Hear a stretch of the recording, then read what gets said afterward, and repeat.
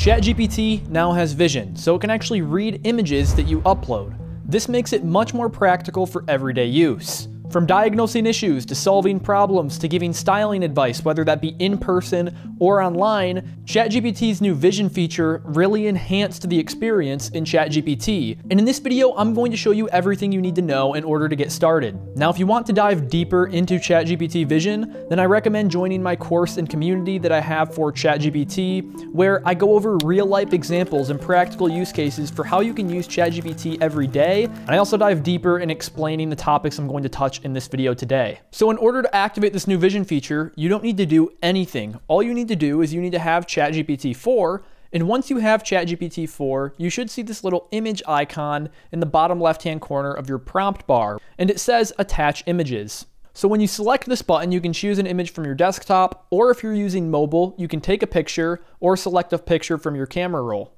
Now the first thing this image feature is very good at is diagnosing issues, whether that be in person or on your computer. You can upload a photo, whether that be a screenshot or a picture from your phone, to ChatGPT and ask it to diagnose the issue. You can even dive into some logical questions and ask it what might have happened in a certain situation. Let me show you a quick example. What I have here is this picture of a tree and a broken windshield on a car, and it looks like the limb of this tree is sitting on that broken windshield. So what I'm going to do is I'm going to ask ChatGPT what might have happened in this picture, and I wanted to show you this because ChatGPT can come to conclusions based on what it sees in the image, and it does a great job at diagnosing your issue. So I said, based on the image, what might have happened?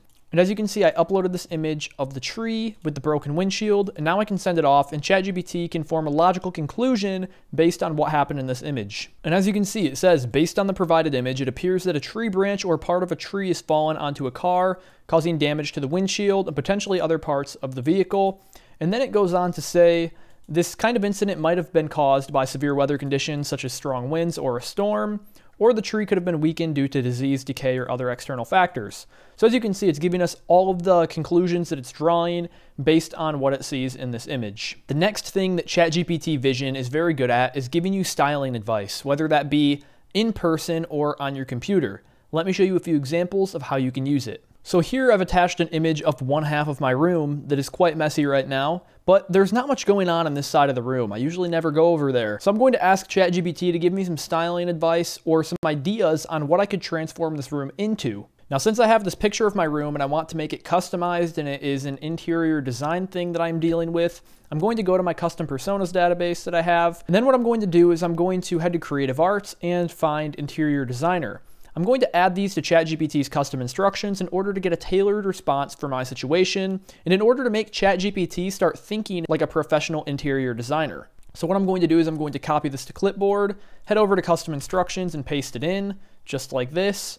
And now ChatGPT is thinking like a professional interior designer and speaking like one too. I'm going to hit save. And now I can type in my prompt that I have that out of the way. Net Interior Designer Custom Instructions was just an add-on. It's not a necessary step in order to make this work. I just like doing it because I think it provides a much better response and better styling advice.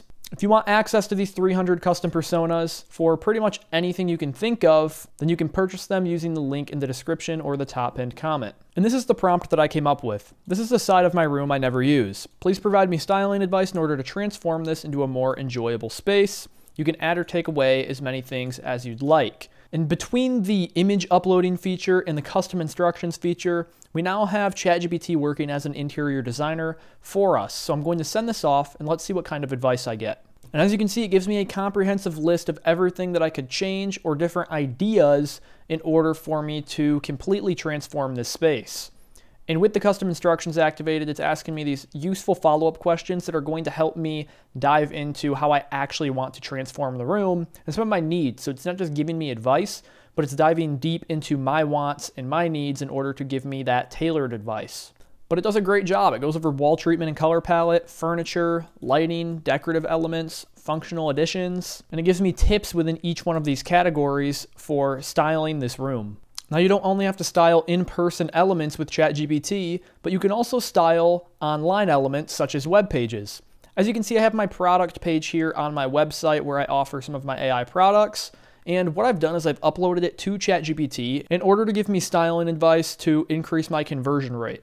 So now that I have this image uploaded, I can type in a quick prompt. And now it's very simple. A picture is worth a thousand words. You don't need to add all of the context of what's on your landing page or your product page. You can upload your picture and then upload a very simple prompt like shown. Give me styling advice for my product page in order to increase the conversion rates. So we're getting straight to the point. We can send it off. And just from that simple prompt, it's giving me custom help. It's giving me 16 custom tips based on the picture I've uploaded in order to attempt to increase my conversion rates for product sales based on my web page. The next thing that many people might find useful is that ChatGPT has the ability to describe people. And you don't have to do this with real life people. If you're creating maybe a cartoon book or you have certain characters that you're putting in a short film, what you can do is you can upload them to ChatGPT, get character descriptions, roles, backgrounds, whatever you need for your story, your movie, your short film, your website, maybe you're doing an about page, whatever it is, ChatGPT can help you generate that. So as you can see, I have this headshot of myself and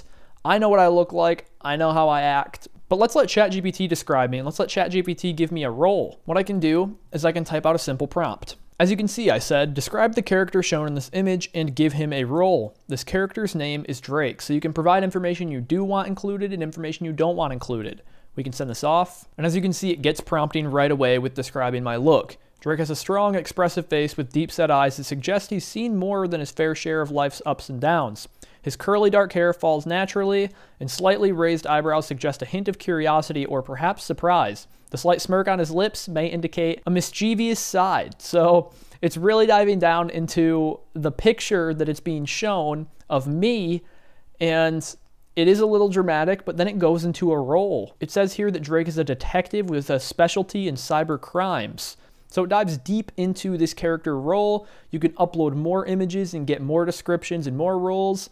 The possibilities are limitless now that ChatGPT has this image uploading feature. So this has been a full guide for ChatGPT Vision. If you want to go more in depth on this, I recommend purchasing my ChatGPT Mastery course where we give in-person examples and dive deeper into each one of these topics. I will leave the link to that in the description or the top pinned comment below.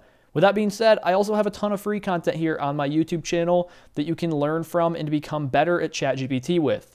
Thank you so much for watching. If you did enjoy this video, please drop a like and subscribe, and I will see you in the next video.